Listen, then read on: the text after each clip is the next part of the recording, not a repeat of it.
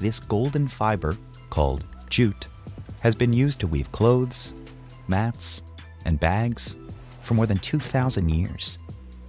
But synthetic materials replaced jute within a few decades of the industry's peak. Now, one scientist is trying to revive interest in this swamp plant by turning it into a biodegradable replacement for plastic. So how does it compare to a single-use plastic or polypropylene bag?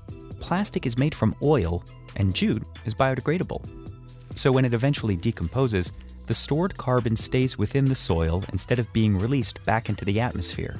Each one is designed to dissolve within 3 months in soil and 8 hours in water. And it can hold roughly 35 pounds compared to a traditional plastic bag's 20 pound capacity. The main problem is Sonali bags cost about 10 times more than plastic ones, and about 5 times more than other biodegradables like paper bags.